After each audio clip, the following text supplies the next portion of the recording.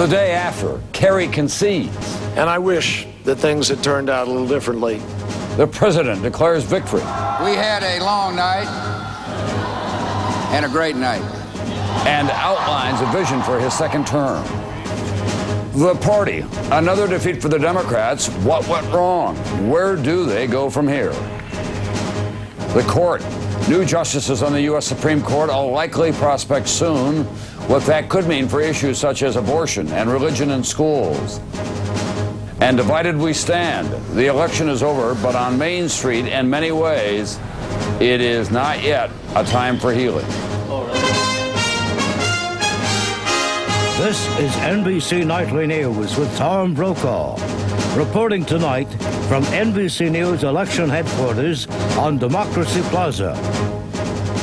Good evening. After a long and contentious night, President George W. Bush today declared victory and John Kerry conceded. And these two men who represented such starkly different agendas for America finally found some common ground. They agreed the deep divisions in this country must be healed, that the healing must begin. Those divisions can be seen in the contrasting shades of red and blue on the electoral map, but the divisions go well beyond geography. That map has so far added up to 274 electoral votes for the president. That's four more than he needs to be reelected. His popular vote was even more impressive. A three and a half million vote lead over Senator Kerry. That's the most votes ever received by a presidential candidate in this country. It has been a tense and emotional 24 hours to close out a long and heated campaign. We're covering all the angles tonight, and we're going to begin with NBC David Gregory with the winner. David. And Tom, tonight the president says he is eager to launch a second term with a big agenda. From costly Social Security reform to permanent tax cuts to winning the war on terror. After that long night you described, he gathered his inner aides, his rather his inner circle, in the Oval Office and said to them simply, quote, we did it, team. With all the pageantry of the office he has now retained, Mr. Bush emerged late today to claim a resounding victory. America has spoken, and I'm humbled by the trust and the confidence of my fellow citizens. But even amid the celebration, the president acknowledged deep division in the country and spoke directly to those Americans who voted against him. To make this nation stronger and better, I will need your support, and I will work to earn it. The president's triumphant moment came just four hours after Senator Kerry called to concede. It was 11.02 a.m. Mr. Bush in the Oval Office praised Kerry for running a tough campaign. You were an admirable and worthy opponent, he said. But just 24 hours earlier, during a final campaign lap through Ohio, victory was far from certain. 1.51 p.m. Tuesday. As Air Force One touches down at Andrews Air Force Base, the president first learns of network exit polls showing Kerry ahead throughout the battlegrounds. Dejected, Mr. Bush tells his confidant, Karen Hughes, the numbers are what they are. I'm surprised. As the campaign war room kicked into high gear, the president's strategists struggled to contain widespread fears of defeat, arguing the early polls don't reflect heavy Republican turnout. By 9.30 p.m., as the president watches returns with family members, a dramatic turnaround is underway. Florida is solidly Bush. And at 12.59 a.m., the other prize appears certain. This race is all but over. President Bush is our projected winner in the state of Ohio. But Kerry will not concede the election's biggest battleground, insisting on a complete count. And at the White House, frustration mounts. I've spoken to a senior campaign Uh, advisor via email who describes this appeal or challenge uh, as, quote, delusional and unrealistic. 5 a.m., still short of the required 270 electoral votes, and with no concession, Mr. Bush goes to sleep. Victory would have to wait. But today, a top campaign strategist noted with some relish that unlike four years ago, last night the president became the first presidential candidate since 1988 to win more than 50% of the popular vote. Tom? Thanks very much, NBC. David Gregory on tape and at the White House live. In the end, the Ohio's numbers game was a losing proposition for the Kerry campaign. Let's take a look now at the final numbers in Ohio, a margin of victory of more than 136,000 votes for the president.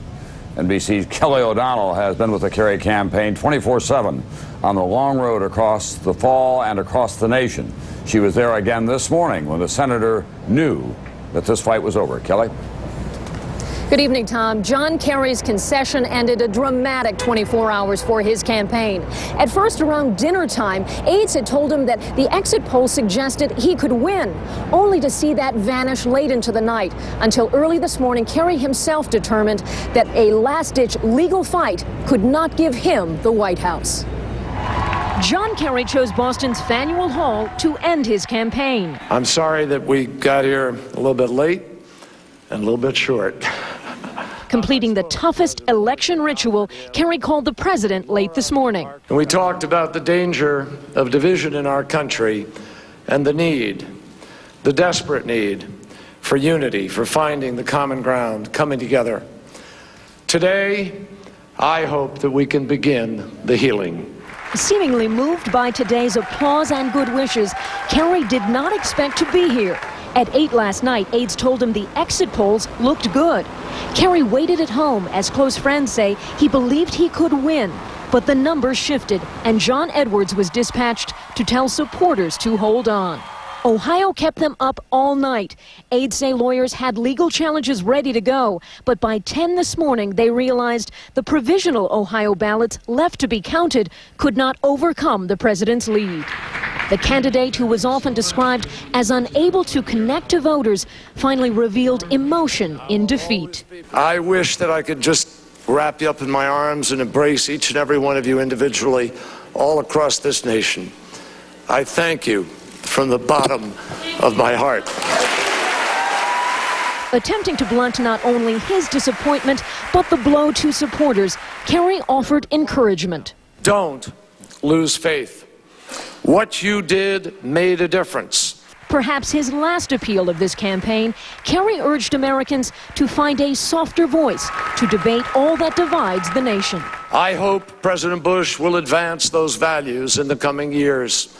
I pledge to do my part to try to bridge the partisan divide.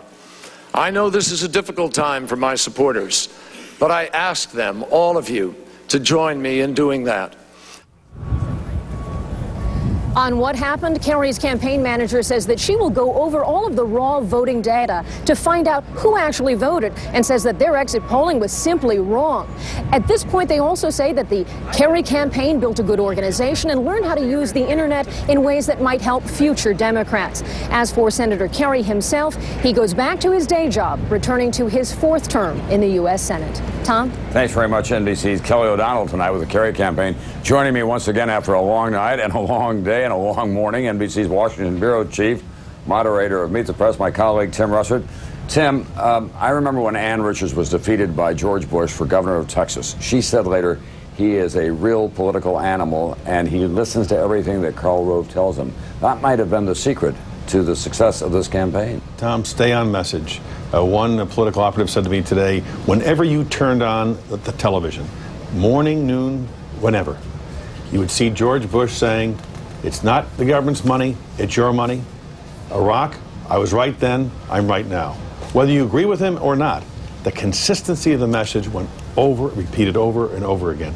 And number two, he was always described as a man who said what he meant, meant what he said, and he was a man of faith. I think Democrats vastly underestimated President Bush's bond with his base in a very fervent way.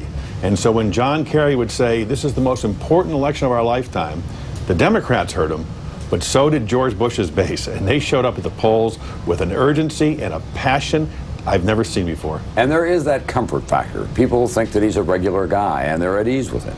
Particularly in those so-called red states, they can see him in his, with his jeans and his swagger and his belt buckle. A lot of things that a lot of people in the Northeast would laugh at, but they identify with it. And Tom, they will say that their their connection with him on the issue of values and as a man of faith was much more important to them than the state of the economy or the war in Iraq. All right, thanks very much, NBC's Tim Russert. We've seen enough of each other for the last 24 hours. we'll see you again. You're the best.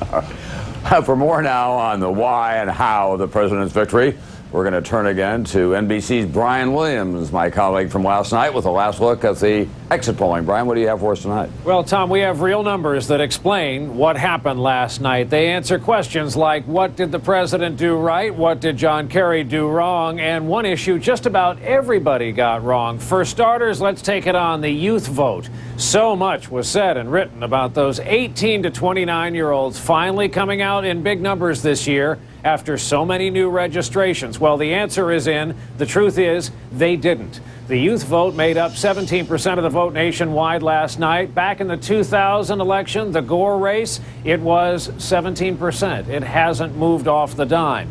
The next big issue in this country, exit pollsters heard it loud and clear yesterday moral values. That's what they call it. It means everything from gay marriage to those sexual dysfunction product ads that come on during the dinner hour to an off color Super Bowl halftime show.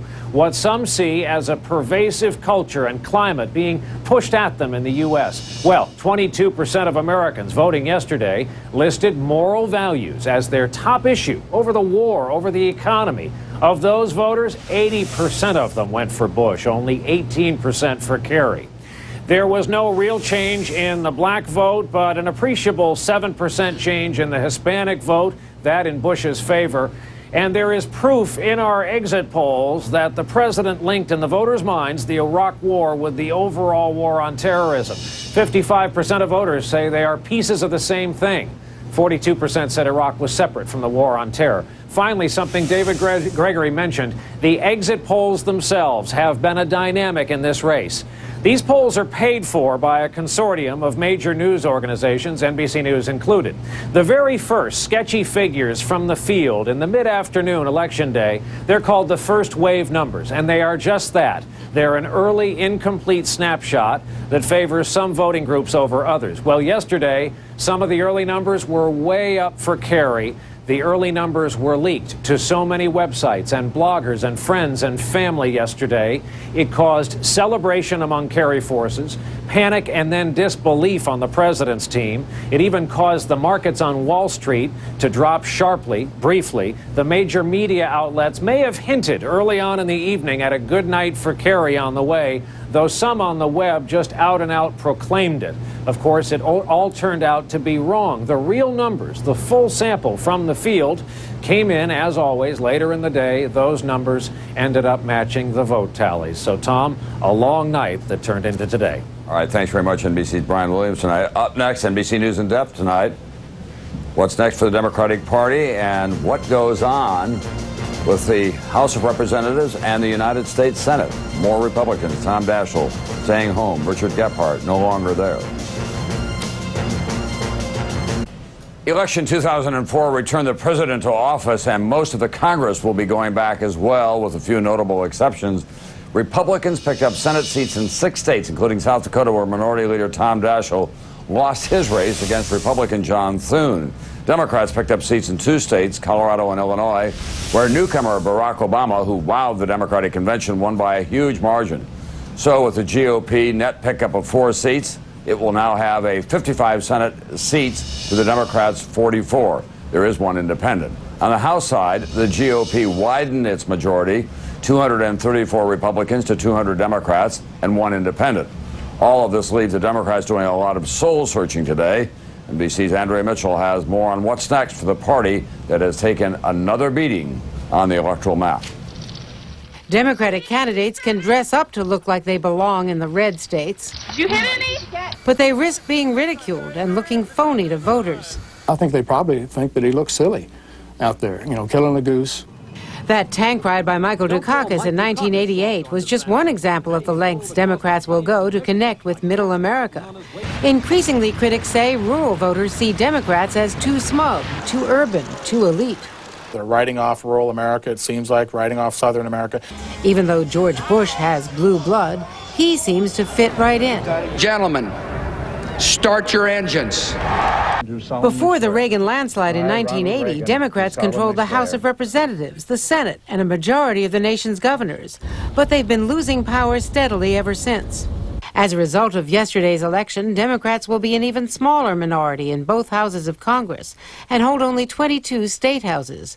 Largely because many voters say Democrats don't understand their moral values. Even some Democrats say it boils down to guns, God, and gays. Issues of faith and culture, especially important in the Midwest and South. As I read the Democratic Party today, there really isn't any effective conservative wing left in the party. Except for John Kennedy, for nearly 50 years, only Southern Democrats have been able to bridge this cultural divide and win the White House. Howard Dean, a Vermont liberal, even tried to appeal to Southern whites by saying he wanted to be the candidate, quote, for guys with Confederate flags in their pickup trucks. Now the party faces an identity crisis. Should it move toward liberals like Dean and Hillary Clinton, or try to appeal to red states by leaning more to the right? Andrea Mitchell, NBC News, New York. And up next, as our election coverage continues, the president may soon have a hot issue on his hands the future of the U.S. Supreme Court. Absent from the U.S. Supreme Court today, Chief Justice Rehnquist, who is undergoing treatment for thyroid cancer. The Chief Justice uh, is uh, raising a lot of questions with his illness. It's one reason that in his second term in office, President Bush will probably have the opportunity to appoint new justices to the U.S. Supreme Court, the first changes in that high court in more than 10 years. What might the Bush appointments mean for the court and for some of the most emotional issues before this country? We get that story tonight from NBC's Pete Williams. Conservatives are hoping President Bush can use the momentum of his victory to shift the U.S. Supreme Court to the right, with possibly two, maybe even three vacancies during the next four years, to be replaced by a president who says he'd favor someone like the two most conservative justices, Scalia and Thomas. And I will continue to appoint federal judges who know the difference between personal opinion and the strict interpretation of the law. The immediate concern, the future of Chief Justice Rehnquist. All signs indicate his thyroid cancer is the most serious form, a typically fast-spreading and debilitating disease. Please raise your right hand and repeat after me. If he steps down, the president could bring in an outsider to become chief or promote one of the current justices who would still require Senate confirmation for it. But even if the president appoints more than one new justice, some legal scholars believe Senate Democrats would block nominees considered too conservative. The effect will be to drive the justices who get on the court more or less towards the middle or towards where the court now is. So I wouldn't expect dramatic changes over the next few years. Still, a court with new Bush appointees would be less likely to expand gay rights or uphold affirmative action in school admissions. I pray that you bless both. And more inclined to tolerate religious observances in schools and restrict the growth in federal regulation of the environment. But even conservative legal scholars believe Bush appointments wouldn't necessarily be the end of Roe v. Wade, the law of the land now for 31 years. More likely, say abortion opponents, are rulings upholding further restrictions, not an all-out ban. I think that the Supreme Court of the United States, appointed by uh, President Bush, would be inclined to uh, support the ban on partial birth abortion. In fact, I don't think there'd be much doubt about that. Even with the new Republican strength in the Senate, both sides predict intense confirmation battles when it comes time for the first new justices in more than a decade. Pete Williams, NBC News at the Supreme Court. And when we come back, neighbor versus neighbor the day after the night before. Sunday, the chase. President Bush and Senator Kerry today talked about putting this country back together again as the divisions were once again deep and long across the political landscape. As NBC's Bob Faw learned, that's easier said than done, and the campaigns themselves are often the chief reason for that divide. The day after, Main Street tried to digest the election results, if not bury the hatchet. When it comes to a sense of community and civility, it's pretty much all gone nowadays. In Dairyland, Marathon County, Wisconsin, which Mr. Bush barely won four years ago for NBC News, Wausau, Wisconsin. Our special post-election edition of Nightly News continues after a break on most of these NBC stations. For the others, we'll see you back here tomorrow night. Back in a moment.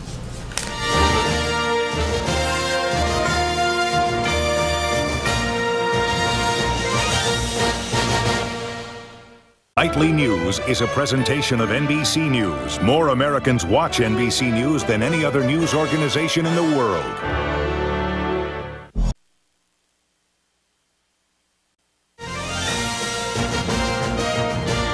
From NBC News election headquarters on Democracy Plaza, This special edition of NBC Nightly News with Tom Brokaw continues. Today, the final speeches of this campaign, a bittersweet moment for Senator Kerry as he conceded with an appeal for a healing of political wounds and a gracious response from the president as he acknowledged his victory and began to talk about his hopes for a second term tonight.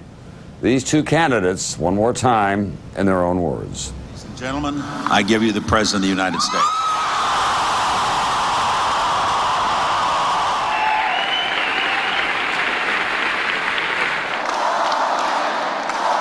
Thank you all.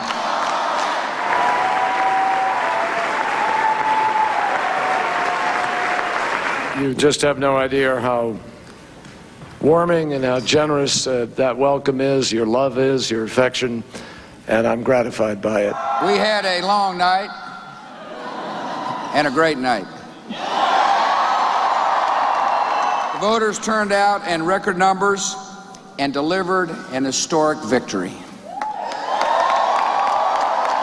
I'm sorry that we got here a little bit late and a little bit short. Earlier today, Senator Kerry called with his congratulations. We had a really good phone call. We had a good conversation. And we talked about the danger of division in our country and the need, the desperate need for unity, for finding the common ground, coming together. He was very gracious. Senator Kerry waged a spirited campaign, and he and his supporters can be proud of their efforts. In America, it is vital that every vote count and that every vote be counted. But the outcome should be decided by voters, not a protracted legal process. I would not give up this fight if there was a chance that we would prevail. America has spoken, and I'm humbled by the trust and the confidence of my fellow citizens. With that trust comes a duty to serve all Americans. And I will do my best to fulfill that duty every day as your president. It was a privilege and a gift to spend two years traveling this country, coming to know so many of you. I wish that I could just wrap you up in my arms and embrace each and every one of you individually all across this nation. I thank you from the bottom of my heart. Because we have done the hard work, we are entering a season of hope. We will continue our economic progress. We'll reform our outdated tax code. We'll strengthen the Social Security for the next generation. I've heard your stories. I know your struggles. I know your hopes. They are part of me now. And I will never forget you, and I'll never stop fighting for you. We'll help the emerging um, democracies of Iraq and Afghanistan so they can grow in strength and defend their freedom. And then our servicemen and women will come home with the honor they have earned. Now, more than ever, with our soldiers in harm's way, we must stand together and succeed in Iraq and win the war on terror. I will also do everything in my power to ensure that my party, a proud Democratic Party, stands true to our best hopes and ideals. I believe that what we started in this campaign will not end here.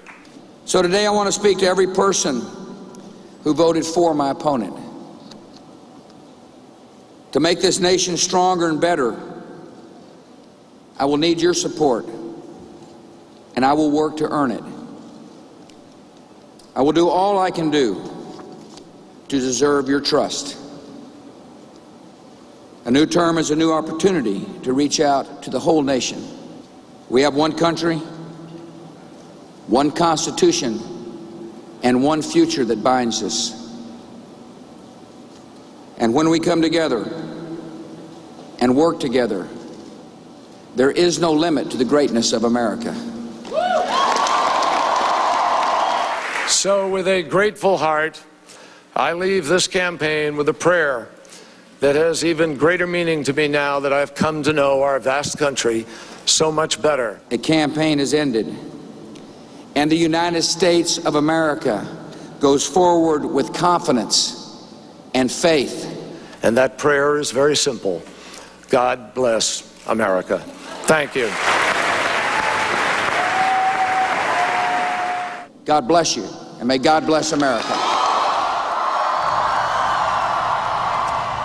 Now we're going to take a closer look at the state that wound up as the cliffhanger this year and the linchpin to this election. That's the state of Ohio. Quick look now at the final numbers in Ohio. President Bush won by more than 136,000 votes. NBC's Ann Thompson joins me once again from Columbus with a post-game analysis there. Ann? Tom, Ohio was not just a battleground state, it proved to be the key to the next four years at 1600 Pennsylvania Avenue.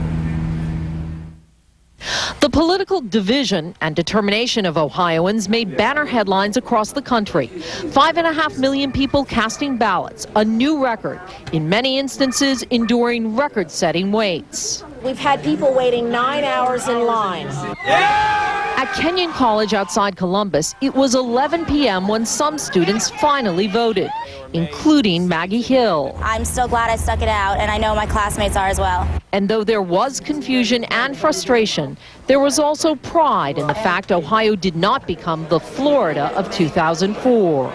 Elections are human enterprises, and you're going to have a hiccup here or hiccup there, which you manage against is chronic choking in the system. The president visited this state 52 times, engaging in a brutal air and ground war for its 20 electoral votes. Blue leaning voters in its industrial north, red leaning voters in its rural south.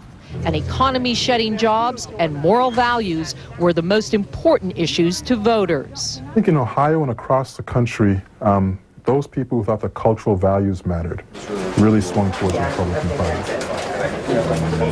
And political analysts say that's what made the difference in this bitterly fought contest, a contest Ohioans of both parties are relieved because it produced a clear winner. Tom? Thanks very much, NBC's Ann Thompson tonight in Ohio. Now to making your vote count, as Ann Thompson reported. Long lines made for frustrating days for many voters, but perhaps the biggest story of the election day problems were the ones that didn't happen. I'm joined now by NBC's Chip Reid, who's been on station at the Making Your Vote Count Center here in Democracy Plaza. Chip, what do you have for us tonight? Well, Tom, many Americans feared the worst about this election because they remember so vividly what happened in Florida four years ago. And there were problems in this election, but for the most part, things went surprisingly smoothly. One big worry that never panned out touchscreen voting machines and all those dire warnings from critics that they would cause election day chaos. While there were scattered problems, most were minor and nothing remotely like the confusion in Florida four years ago with the older punch card machines. Another concern voting place challenges. Democrats were worried that thousands of Republican poll watchers would aggressively challenge Democratic voters, especially in minority areas, perhaps suppressing the vote but in the end, there were only isolated incidents. Despite those two bright spots, there were serious problems in this election too, and there's little doubt that the votes of many Americans did not count. One major difficulty, those long, long lines, especially in battleground states, and there were too many reports to count of people giving up and going home. Another controversial issue, provisional voting. It nearly took this election into extra in. And this nation to some degree did listen. Improvements were made, but yesterday's and today's election makes clear that there's a long way to go before every vote counts. Tom. Thanks very much, NBC's Chip Reid tonight. We're getting a rare glimpse tonight behind the scenes of the Bush and Kerry campaigns in a special election edition of Newsweek magazine that goes on sale tomorrow. And with a preview of all that now, I'm joined by Newsweek's editor, Mark Whitaker. Mark, let's begin by talking about the Kerry campaign. I think by my lights at least, there was no more devastating line for him than I voted for the 87 billion before I voted against it. How did that come about? Well, the uh, the Bush campaign had a theory uh, about Kerry that you could bait him. As Ken Mehlman, the campaign manager, said, uh, if if we put the rabbit out there, he'll chase it. And he was going down to West Virginia to give a speech before a veterans group. And they put up a local, an ad in the local TV market, um, uh, goading him for his vote against the funding uh, for, for Iraq. And uh, then a heckler showed up in the audience and started giving him a hard time about it. Now, we weren't able to, to establish whether that was actually sent, he was actually sent by the, uh, by the Bush campaign. But after, Which would have been fair game, by right, the way. yeah, I mean, kind of tradition Right. of, of somewhat dirty tricks or Right. whatever. Um, w- w- we know about that. But anyway, um, after about an Four more years. The president says he's got new political capital and he's determined to spend it.